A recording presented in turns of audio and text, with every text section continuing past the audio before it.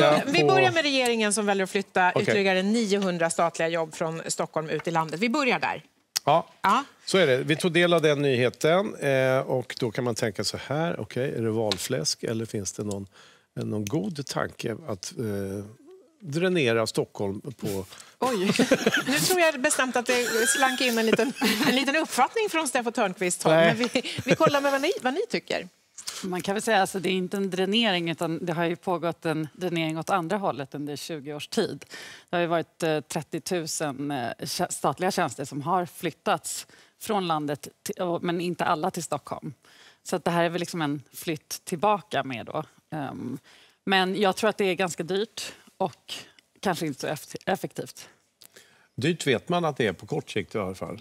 Eh, effektivt eh, har man ingen koll på riktigt. Nej, det finns inga direkta eh, liksom, eh, klara besked på om det faktiskt har haft effekt när man har gjort så här tidigare.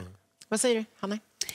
Nej, jag, tycker, jag är kluven måste jag säga. Eh, Det var ju sådana svar man inte fick ge. Nej, men, nej, men jag tycker att det är ett, eh, ett effektivitetstapp och det är en kostnad och det är dyrt. Samtidigt så är det oerhört viktigt tycker jag att vissa myndigheter finns ute i hela landet. Och framförallt tycker jag det här att flytta ut till Botkyrka och flytta ut till de här områdena som nu liksom på något sätt håller på att avfolkas på eh, annan verksamhet än boende. Eh, men samtidigt så är det ju så att myndigheter är ju ingenting som, det finns tio och sen kommer vi alltid ha de tio. Utan det är ju enorm mängd myndigheter som tillkommer och vissa som slås ihop och vissa som avvecklas. avvecklas. Och jag läste här från riksdag och departement att bara under alliansregeringen så tillkom ju 55 nya myndigheter. Och det måste ju vara smartare att placera dem på ett bra ställe från början än att flytta. Ja, jag tror det. Men det, ja, för det är ju...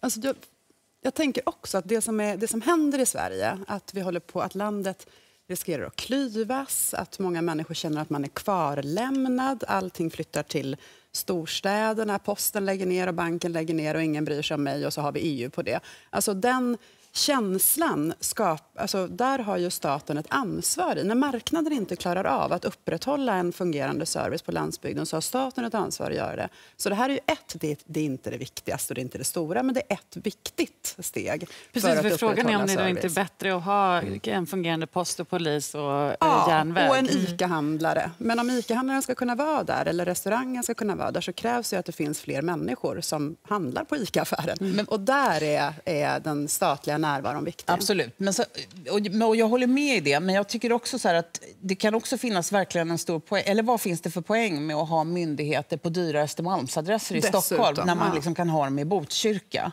Det är både bra för Botkyrka och det är bra för samhällsekonomin. det så- Men däremot så tycker jag att man kunde ha lagt det där från början. Det som, är, det som är viktigt i den här flytten tycker jag är att man gör just både det. Att det är både Botkyrka och Borås. Det är inte bara att flytta från en storstad till en annan eller att flytta till andra orter ute i landet. Utan det är... Men det är ju samtidigt inte typ Lycksele eller Jokkmokk eller de Nej, här och det eh, behövs områdena som nästa, verkligen nästa steg är behöver. att flytta ut från centralorterna i varje region ut, till, till eh, de Och sen är det ju också så, det finns en högre ganska- utbildningsnivå i storstäderna. Så att jag, om man skulle flytta ut Statistiska centralbyrån till exempel till Lycksele så undrar jag faktiskt hur man skulle, eller man skulle lägga den där från början, hur man skulle kunna bemanna upp den. Eh, Men det är klart att det är lättare för unga människor att flytta i ett skede i livet och då har man liksom sökt sig dit själv. Det blir ju ett, jag förstår att människor är upprörda, men det hör till. Att man, måste, man är inte bunden till en plats när man har en anställning. Eh, vi, vi